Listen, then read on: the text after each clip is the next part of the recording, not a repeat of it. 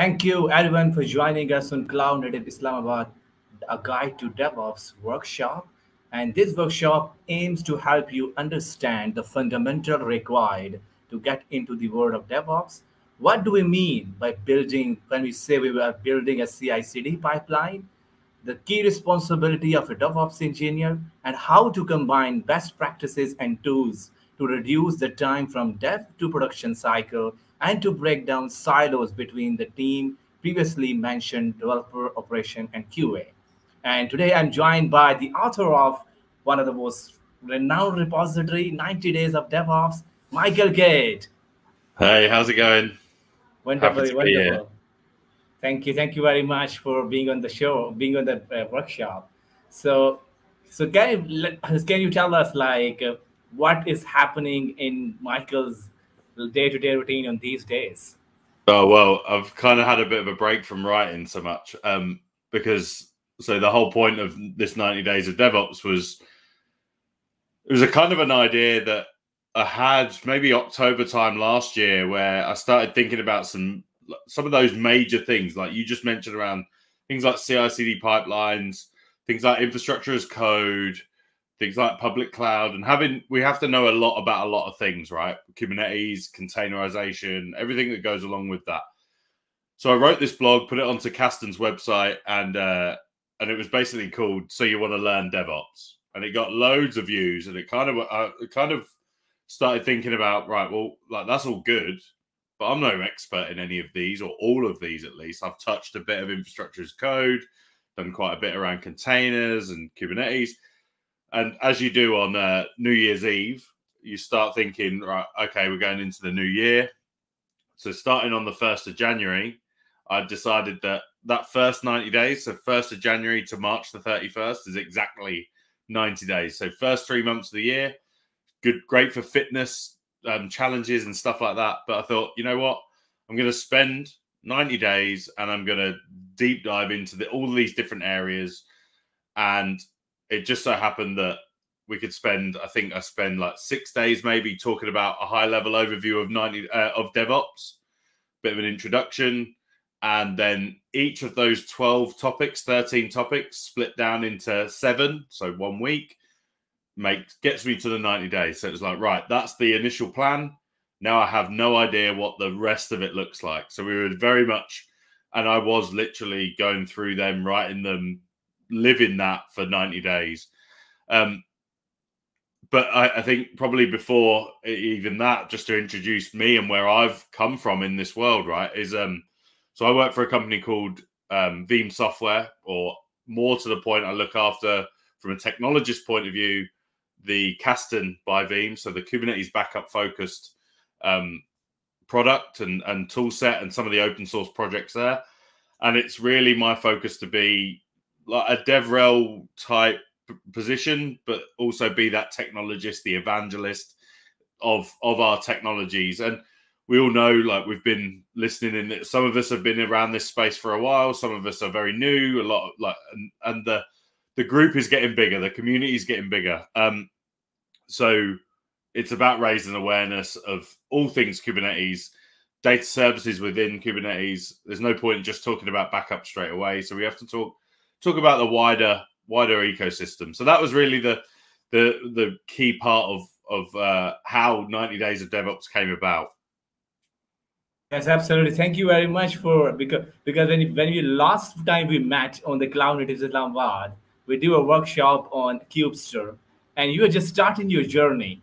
And, yeah. and, you're telling, I think it's, it's, just two weeks from your 90 days of journey. And on those days, they were telling about what's going to be happening next. And as of today, is popular is going up so much stars, so much appreciation, translated in so many other languages. That's a great, great journey to be to be in. Absolutely. Yeah, like so. Obviously, like if you think about the repository, it was my idea of just creating notes, like learning in public, sharing some exercises on each of these topics, getting my like understanding what what they are, how they work, getting hands on, and then writing basically a blog post every day for 90 days. Um, other people can obviously follow along. I did it in public on on a Git Git site, and I'll show you that shortly. But um, yeah, it was uh I didn't know there was no like I think I, I don't even know how many thousand stars there are. It's ridiculous. Um, let me just have a quick look. So it's uh, sixteen thousand eight hundred and fifty-five, which is bonkers. Ah, yeah, your shirt. Uh, sorry for the inception.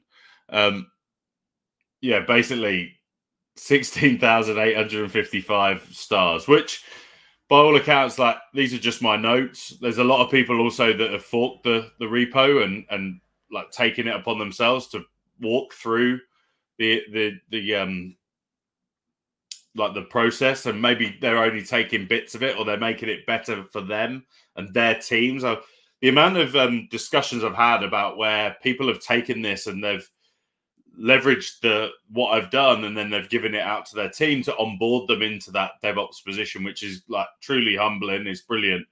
But really it was just me creating notes. So the next thing that's blown me away is around the contributors. Like again, these are just my notes.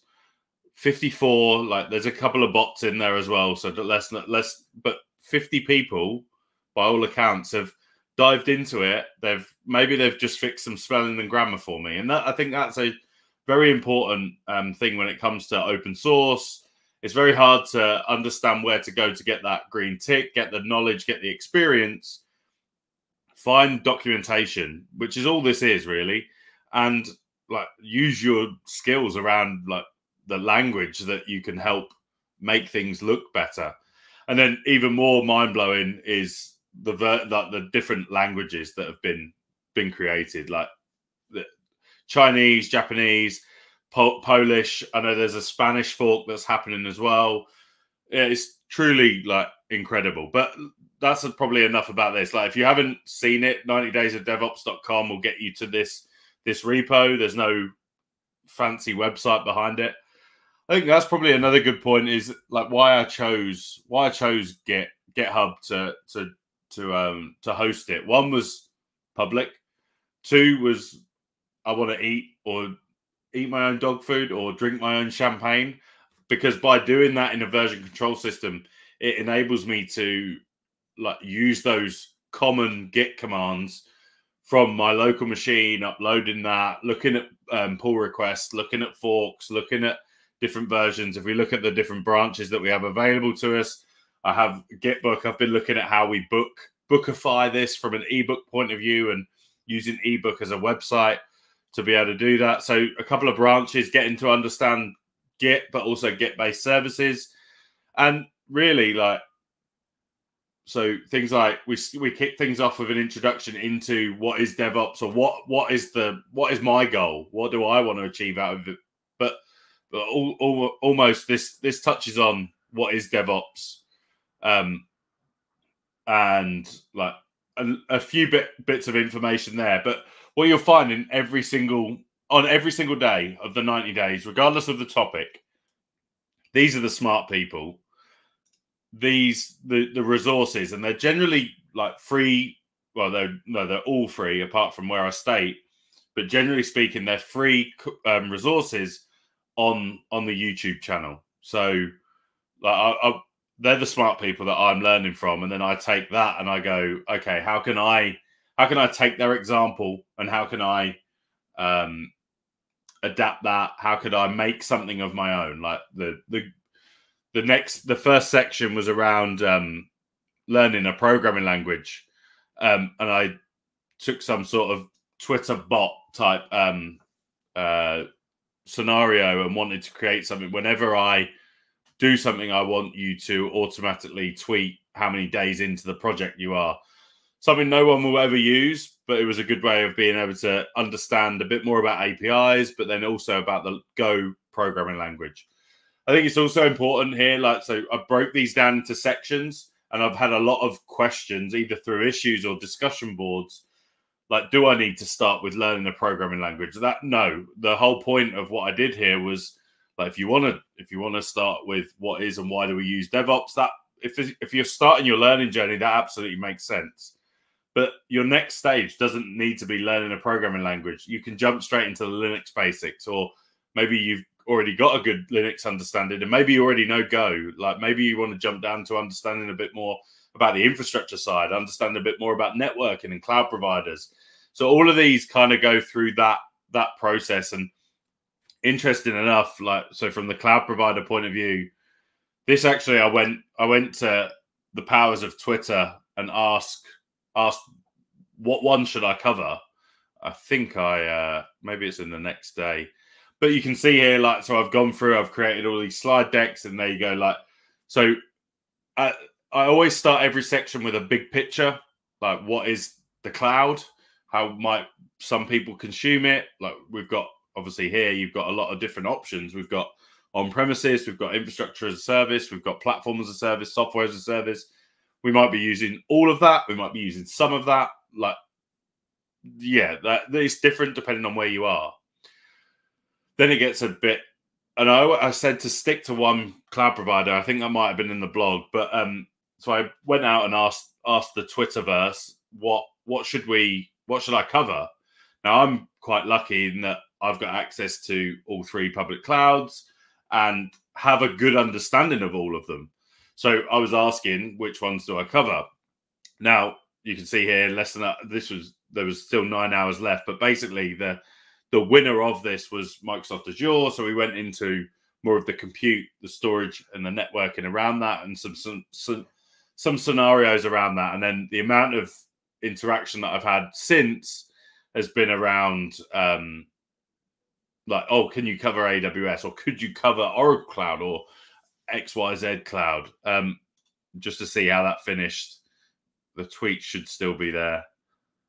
So yeah, you see there that Microsoft Azure, but then closely followed by AWS.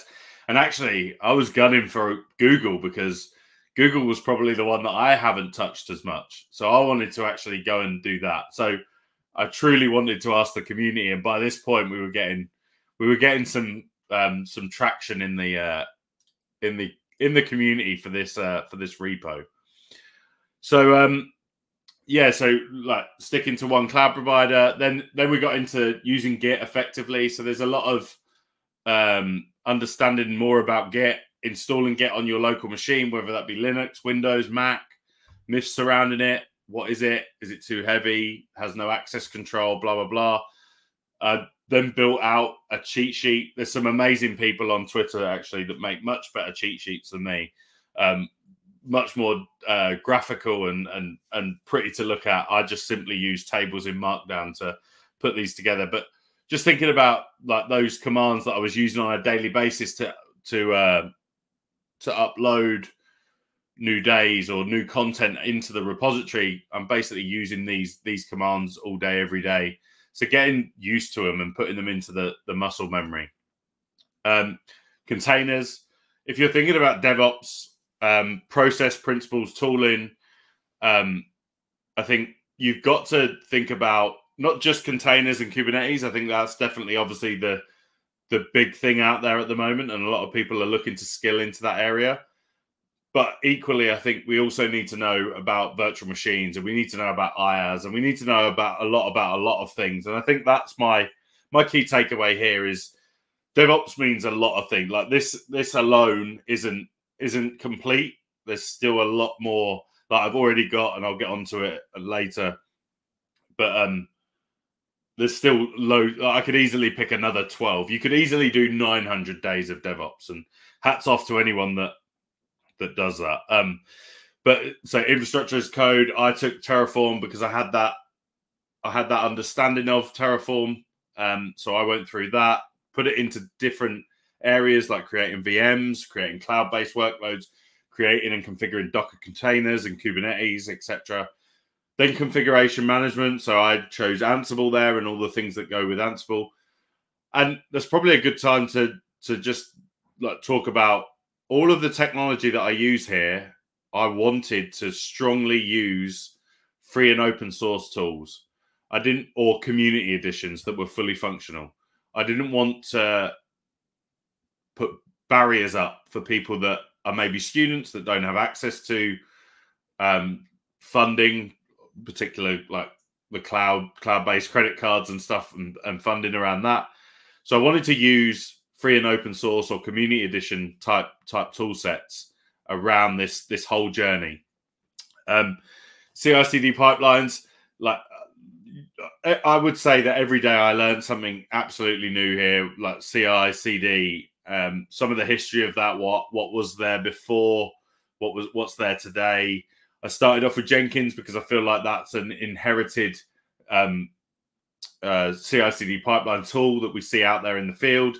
However, we're definitely seeing much more around things like GitHub Actions, GitLab, Argo CD, Flux, etc. So I cover some of that in there as well, and and start to like get hands on basically all the way through this. You're going to see like uh, building a Jenkins pipeline, and and what I do, and my intention is to create more YouTube content around this as well because I'll, I'll talk about a bit how I learn, um, and I expect some of you on the on the call will be exactly the same. But things like building a Jenkins pipeline, it's one. It's great to see a blog like that if that's how you consume and that's how you learn, and hopefully some people get value out of that.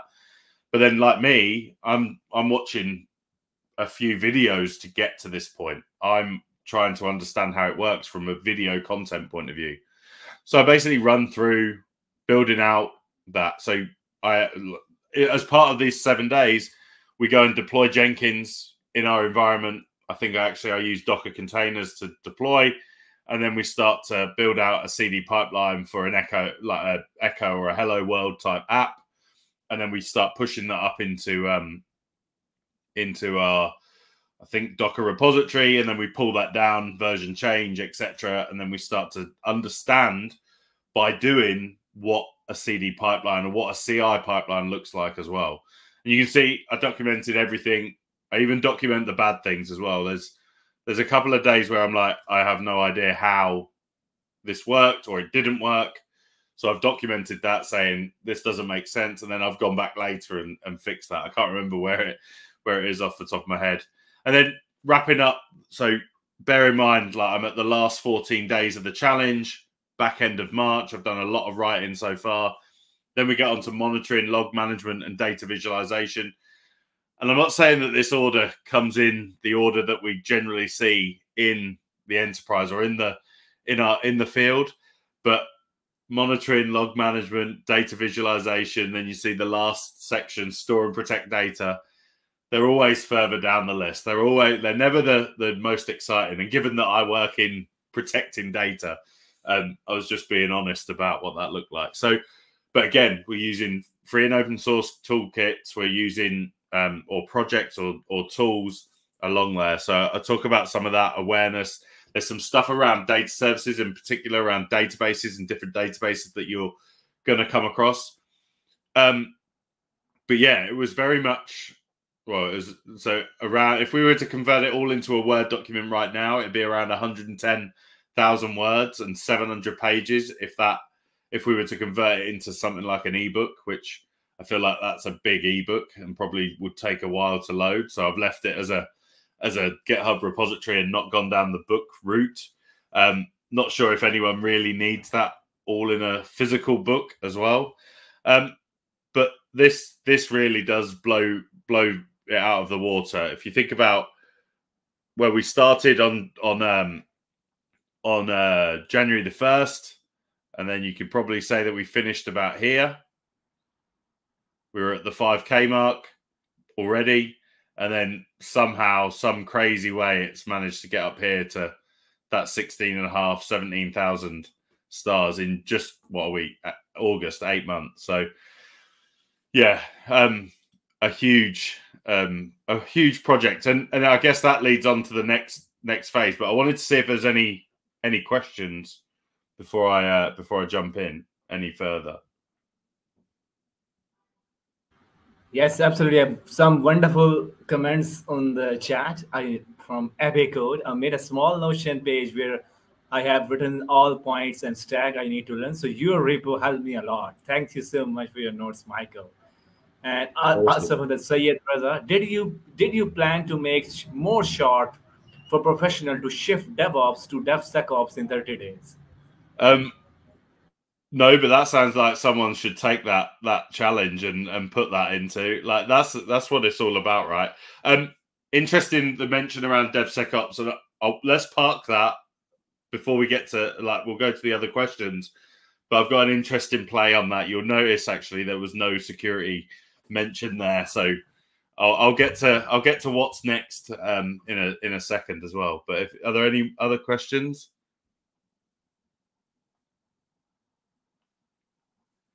I think that, that's a that's an interesting interesting question. Like, would AI tools kill DevOps in the foreseeable future? Like, so personally, I don't I don't believe so. Um, I think they're just going to help us in a way. They're going to help us automate the the the uh, repeatable tasks out of the way.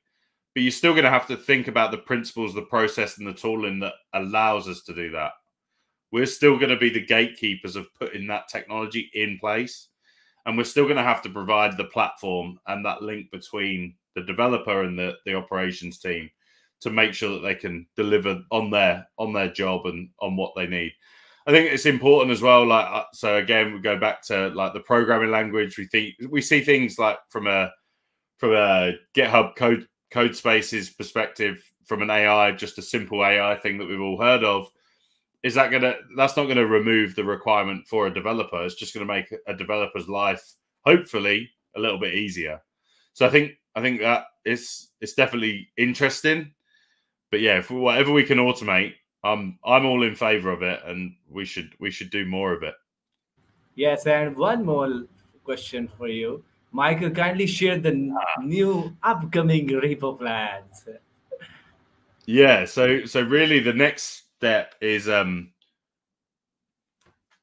so one i want to get ahead of it instead of waking up on new year's eve and going oh i've got to go and write something um i actually want to try and get ahead of it before the 90 days so people can actually follow along as well because i feel like plus it takes a lot of weekends as well because i was writing on the weekend as well but um so the idea is is that you've probably noticed for those that have been to the um been to the uh, repo, that there's a very little that focuses on security. So the mention of DevSecOps is massively important.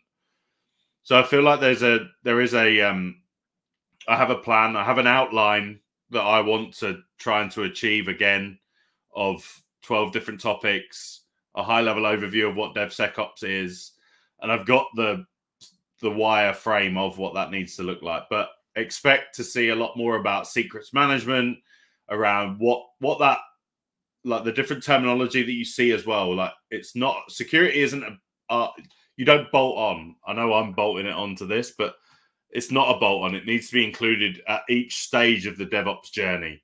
Um, we need to think about it from a platform point of view. So whether that's Kubernetes, OpenShift, or serverless, we need to think about what that looks like. How do we make sure that we're secure from start to finish and ongoing, right? That's the that's the key. So there's a lot of acronyms that I've already found in there that that we need to think about. Um, also, again, massive shout out to the community that have taken on this, um, talking already about like their particular security method. But I don't feel like there's one repo type resource that goes, this is what all of this security from end to end looks like. And there's no there's no not real one vendor that has the skin in the game that wants to do that either. And that, I think that goes back to where where I'm coming from is that like I'm ever so lucky. Veeam gives me the opportunity to do this. Um, Veeam don't have really any skin in the game when it comes to security. They're the last line of defense from a backup perspective. But really, we, we I want to be talking about the prevention of security issues versus the remediation. So it's there's no skin in the game. So, uh, and I think that that's also massively important because if you've got your security vendor A, they're going to talk about product A as well, right? And I, again, I'm not into that. I don't. I, I want to look at what's to, what's hot, what's topical. Let's see what um, let's see what we can learn. And all the way through this, I'm quite clear in that look, there's there's other things available. Like when I looked at HashiCorp um, Terraform, from an infrastructure as code perspective. Um, I, I, shout out things like Pulumi. Um, I think I'd shout out things like Crossplane as well, and just that that whole part. It's just I chose Terraform because I had a had a good understanding of that as well. But there's obviously others that you could go and replace. You could literally replace everything that I covered with other things. So that kind of well, hopefully that gives you an idea. So DevSecOps is the key, like the overarching theme.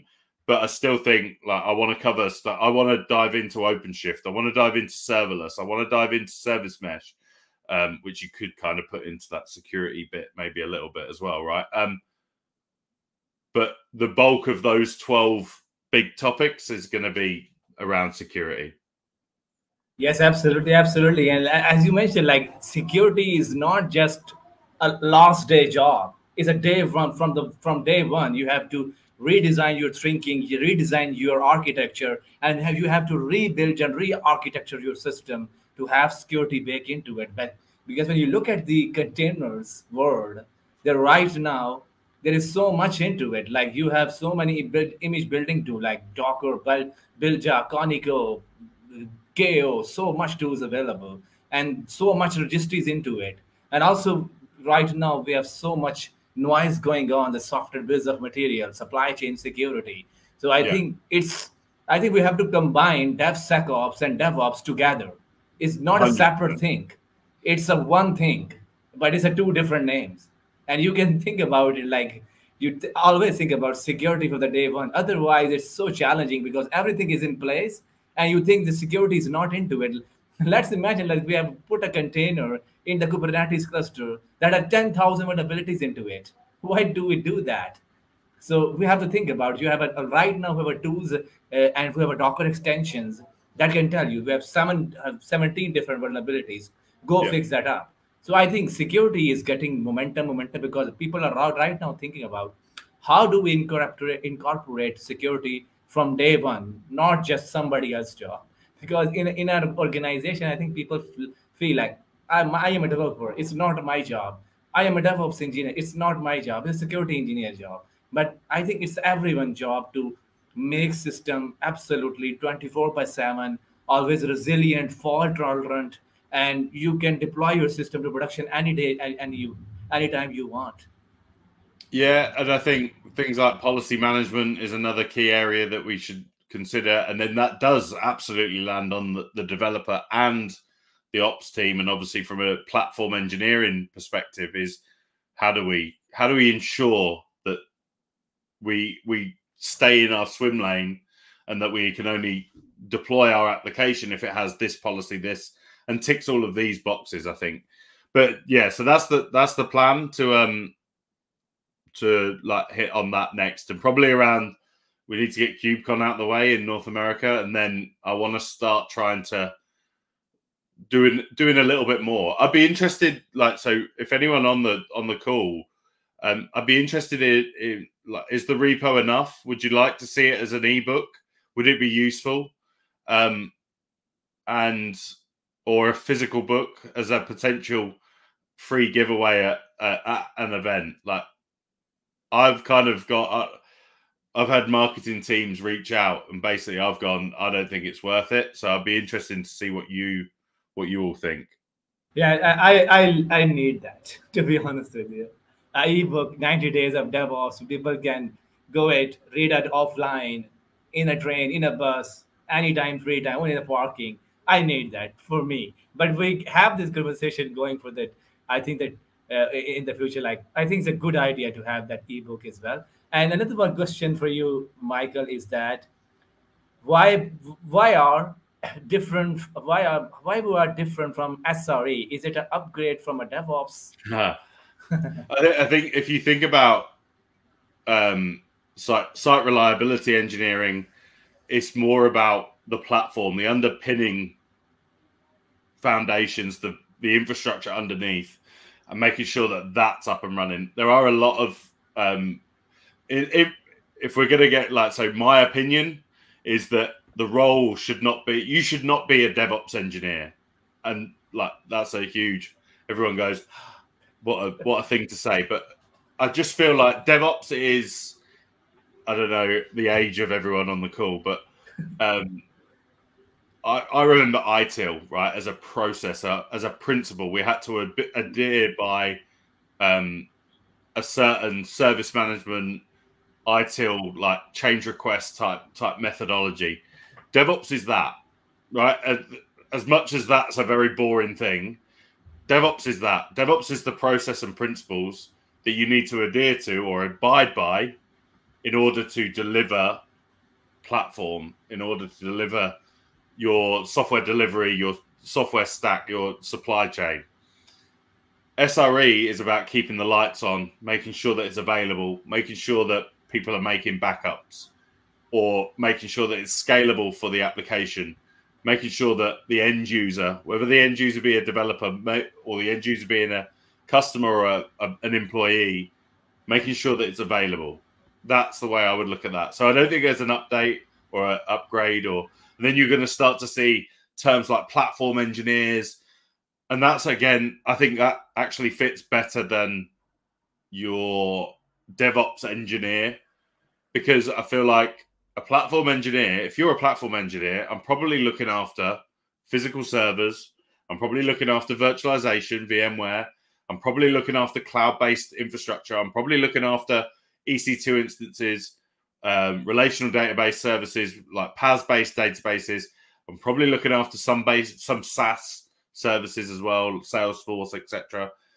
And I'm probably then looking after some cloud native stuff, Kubernetes, and and then even more serverless functions as well. And a platform engineer needs to have the scope of all of them because none of them are going away. That's the another spoiler is virtualization is staying. Physical machines are they they have to stay in some parts. So we have to be able to work across all of them, and we have to have an understanding and be able to bring those same methodologies across all of them. And I think so. I don't think there's any right or wrong title. I've just said the wrong. I've just said that about DevOps, but I feel like the sysadmin in general is evolving to have to have more skill sets around DevOps. The virtualization admins that I've been speaking to for the last five to 15, like 15 years, are all looking at automation. So it's like the platform side is coming up one side, the developer is having more awareness and they all meet in the middle to bring to make sure that they're not throwing code over the fence and then the operations team's running around with the international sign of help me um, but yeah so i hope hopefully that helps with the sre question yes absolutely absolutely i think when you look at the google uh, sre book and when you talk to the google people they always think about this they coined this term called SRE implements DevOps. So they coined this term. And exactly. like and when you talk about the SRE is actually people thinking about we have a developer that has a, so much knowledge about writing and building your application code. And then you have experts who can understand the niche problem like when this is hitted when you when you uh, like architecture your api when you create your api it's going to be accessible from the different places how would you make sure that these APIs, when called, having a very much latency into it, these are not broken over the while. And I think these are the most like uh, more SRE background. But I think right now, like we, when you talk about Kubernetes and the Kubernetes managed offering, especially people having some EKS cluster, AKS cluster, GKE cluster, and people you know, like in the cloud native space, have making solution for the people like we manage your EKS cluster we can manage your AKS cluster, we can manage your GKE cluster. And for that people, I think they're looking for the SRE people because at yeah. the end of the day, you want these cluster to be always sit and relax and being functional all the time. So I think right now it's focusing is toward SRE, but but it's difficult. Like how you uh, how you define or this kind of stuff is is. Don't you think about the simplest way? Like SRE implement DevOps. I think it's a it's a good way to think about it. so yeah, exactly that. Now I know that there are there will be people that watch this that are DevOps engineers, and ha- like I, I've always had a thing about titles anyway. Like it, you do what you do, right? And if you're a systems administrator, that was a blanket term for many years. Where if you're a sysadmin at company A and a sysadmin at company B, that doesn't mean you do the same job. Like like you can look after different services and you might be different skills in in each one right and i think i think the devops engineer works for some companies um but is it the right like you exactly what you said is you adopt the principles and processes of devops and you could be a cloud engineer and do that You could be a sysadmin and do that. You could be a platform engineer and do that. I would I always think about DevOps as the this is the this is the rule. This is the book, the rule book. This is how we're going to do things. And and also like you let's say you do get and I'm going to use the term DevOps engineer. And there's actually quite a good um, part around this in in the uh, in in the repo, which is the responsibilities of a DevOps engineer. And then in there, we actually talk about actually, is it a DevOps engineer that we should be calling this position? But um, the whole point of that is uh, one, discussing that out in the open so that we're all aware of it. But um, yeah, looking at the different roles and responsibilities. Now, the big thing is, is that if you're a DevOps engineer here and you're a DevOps engineer here, like that's sysadmin, you might here have to have the knowledge of CI and CD pipelines because you're a software development house. You're creating software, containerizing it, and then pushing it to your Docker Hub or some sort of container registry, and then you're also releasing it into the wild. But over here, actually, we don't develop software, and that's okay because you're a billion dollar company that is making money and you just buy off the shelf software. You just go to Oracle, you just go to blah blah blah, and you buy it off the shelf and you implement it. But maybe you don't need to know the CI bit, but I would strongly believe that in years to come, you're going to need to know that CD bit.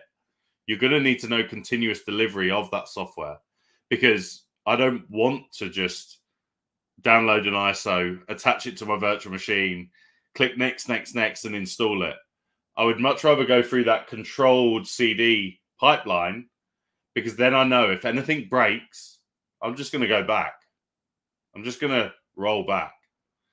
And I think that gives us the flexibility not only to do that, but also to test. Because I feel like test has maybe been a bit too hard over the last few years. So testing as much of uh, of that process is is also massively important.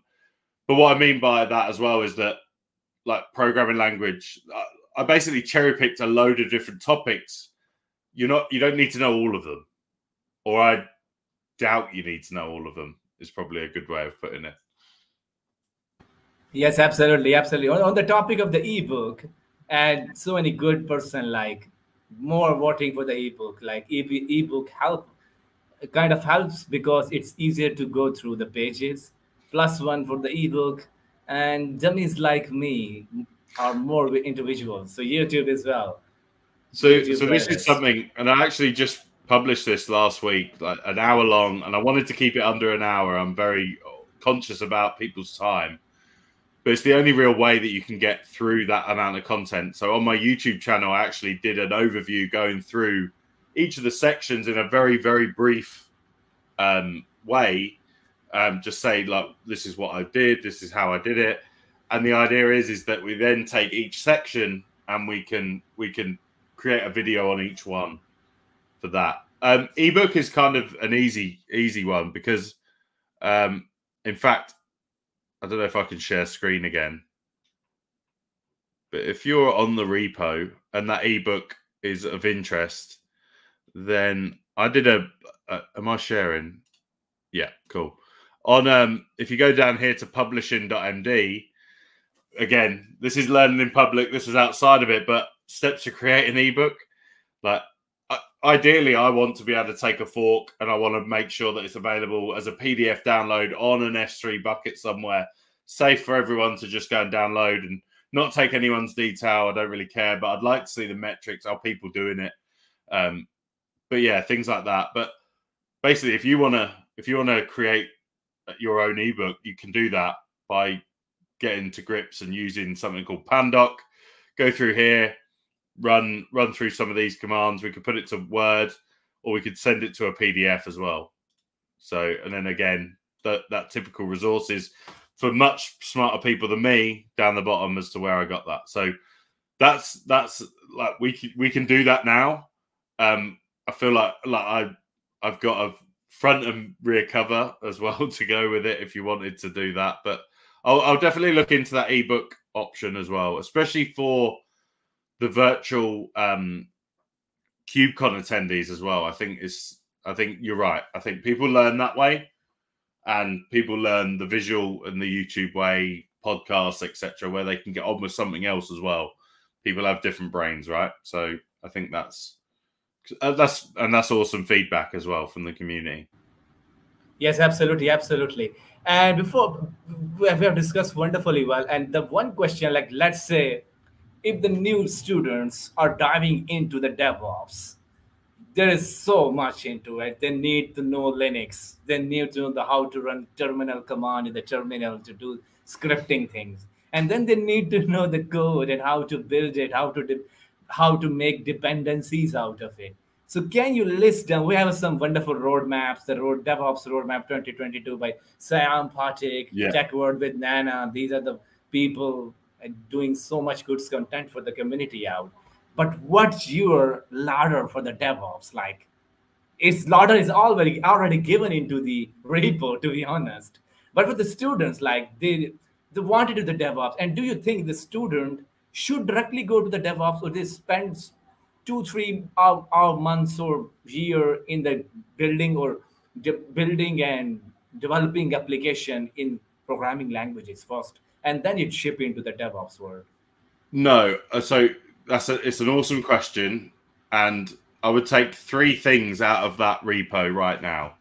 One would be Linux.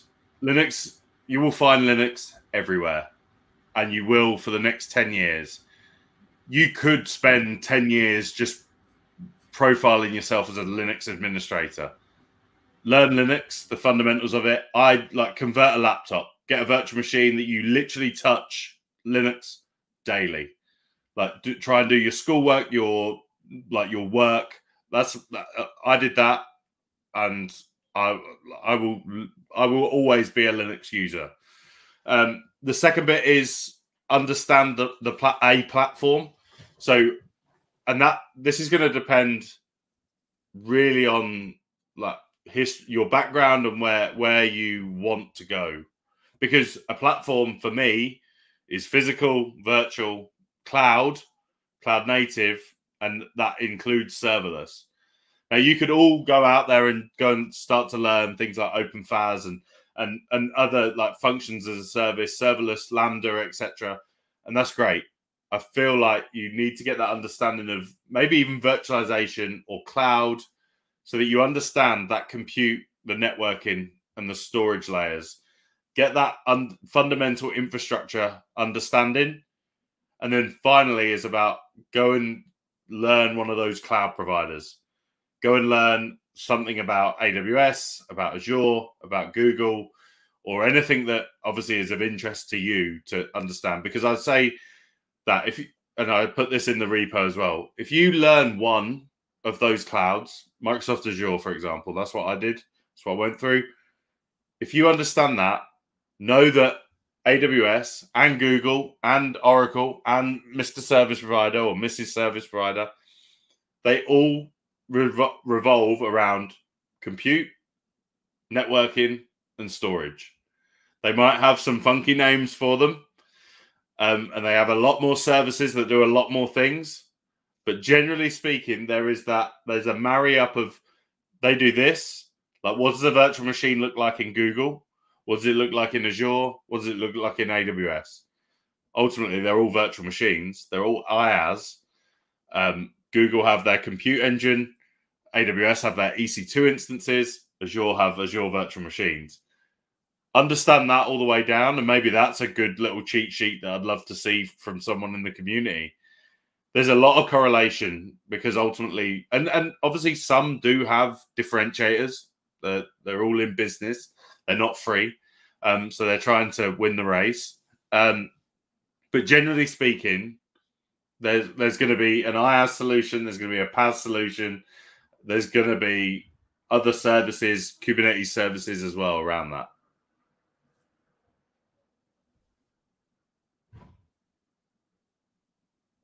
Yes, absolutely, absolutely. It's it's it's all about, as you mentioned, compute, network, in storage. That same for the virtual machine if you are using the virtual machine, and I think that's same pretty much if you are using the containers, compute, network, and storage. It's all about IT, DevOps, is the three word because these three word created is and because if you're talking about compute, compute had its own ecosystem. You're talking about network, networking had its own ecosystem. You're talking about storage, it has its own ecosystem, and yeah. that's same for the container as well. We have so much vendors doing storage things.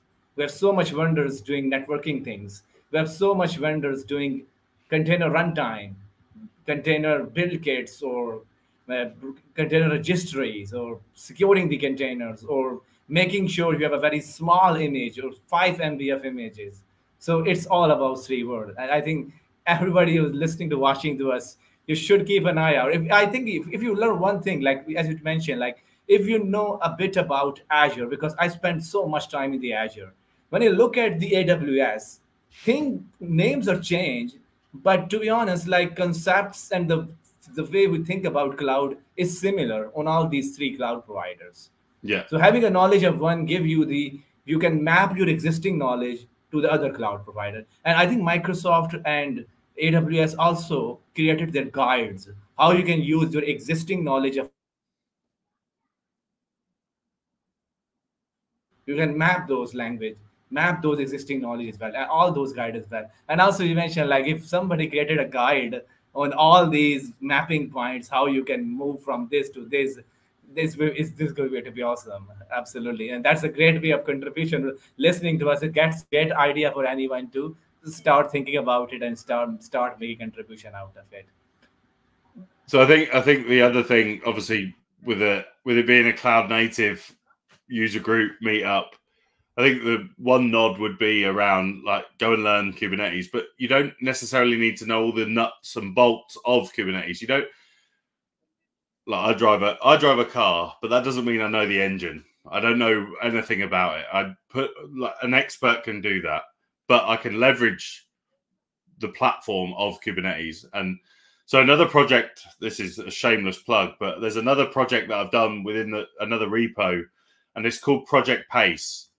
In fact, let's just have a look. Um, and it's basically about streamlining that and speeding up the um, the uh, the ability to spin up a, a, a Kubernetes environment wherever. Like again, it's very cost effective.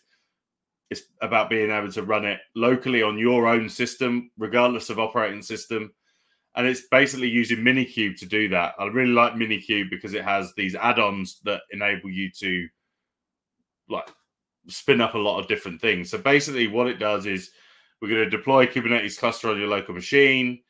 Um, we're going to use another cool product or tool called arkade.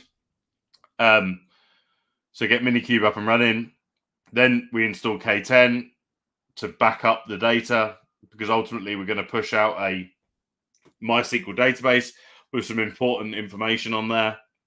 And then we're going to use K10 to protect it, perform a backup of it, and then recover that, and then delete the cluster. We can also export to a MinIO, so deploy object storage into your cluster.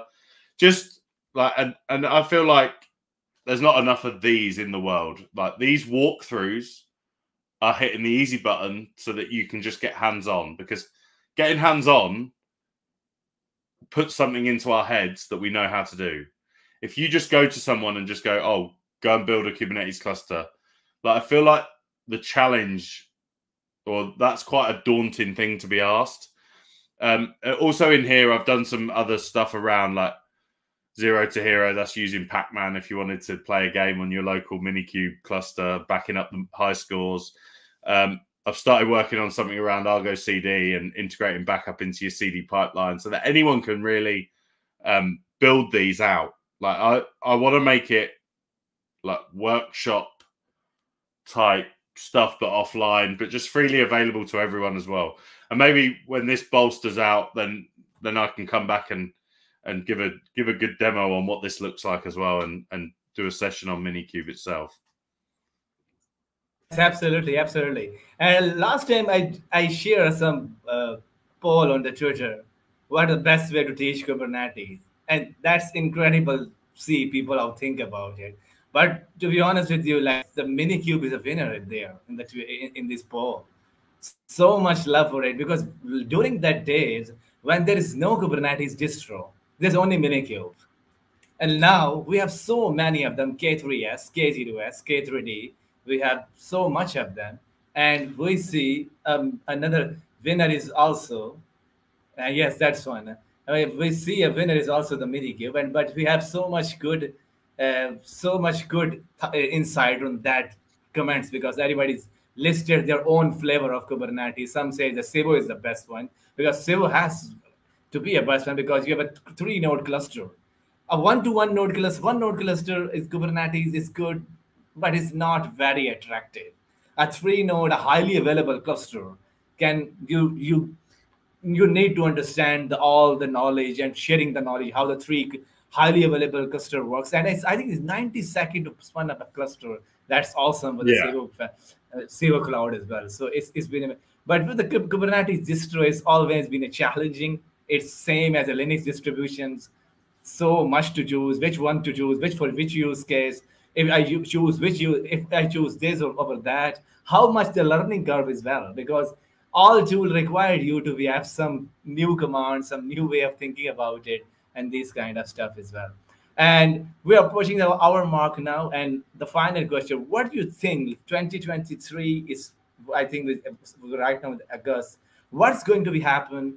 First, you tell us about your talks at KubeCon, if any, or Veeam talks or Kubernetes storage talk that is happening in the KubeCon. That's right. And plus, what do you think? What do you think is coming up in the DevOps. Uh, so I think the biggest thing that will happen over the next 12 to 18 months is we're going to see an influx of that VI admin, that infrastructure admin come into this space. They're either going to inherit Kubernetes or have to have that awareness and build out. So our community is going to get much bigger very quick.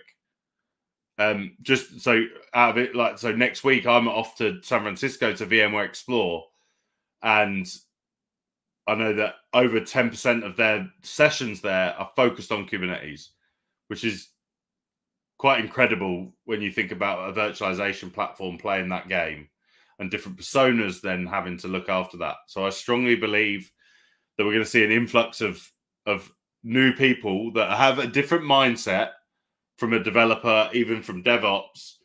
But the sysadmin is that is going to evolve. That role is going to evolve. They should have called it VMware Evolve, but um, there you go. Yes, and one more, like you're telling, like any Veeam Kubernetes storage talk in the KubeCon, that's right, coming up from your um, team or you.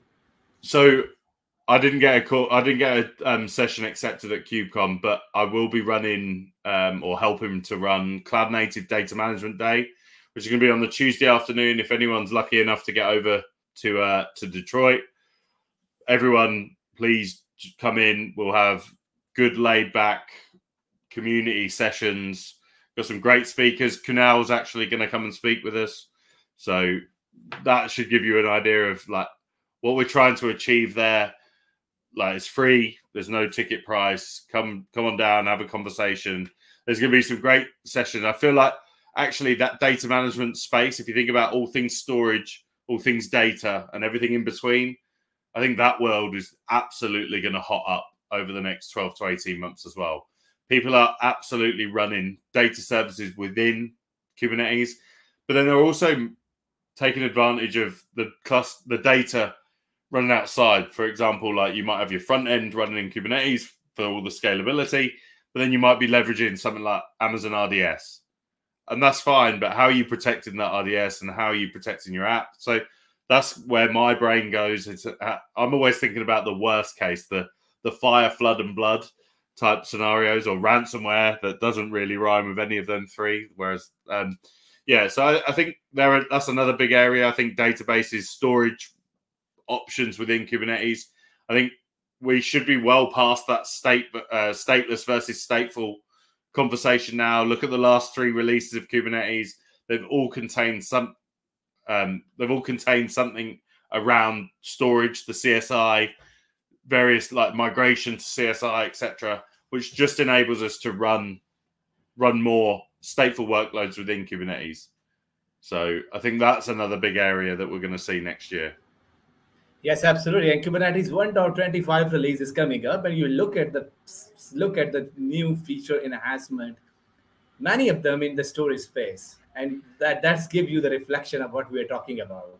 You see yeah. some of the Azure Kubernetes storage updates, and it's, it's, happening so rapidly. People build communities out of it, and then Data on Kubernetes is a good community to get hang out yeah. into it. And if you have any question about storage, Michael is a guy for you to hang out and share some insight on these kind of stuff uh, because he's working with a wonderful company, the number one backup storage in Kubernetes, Kasten by Veeam. And we have also did a session on the Kubestr Kasten on this channel with Michael Cade. This is this is their second appearance on 2022, and we're looking forward to have more and more collaboration with Michael Cade as well. So wonderful talking to you, Michael. It's been a great talking to you. And keep an eye out. Eye out. Hopefully, you, you can see an ebook. Hopefully, you can see a playlist. Also, he has YouTube channel and he's talking about all his repositories and and is all the, I, I see every day a new update to the GitHub repository. Michael is not kind of a person with make contribution that's like slave and go away. He's making those contribution consistently and continuously and making changes every day and adding more and more stuff into it. So it's a very good learning journey for everybody to hang out to us. So thank you everyone who showed up, shared your question with us, and enjoy the conversation. Stay safe, stay healthy. Bye bye, everyone.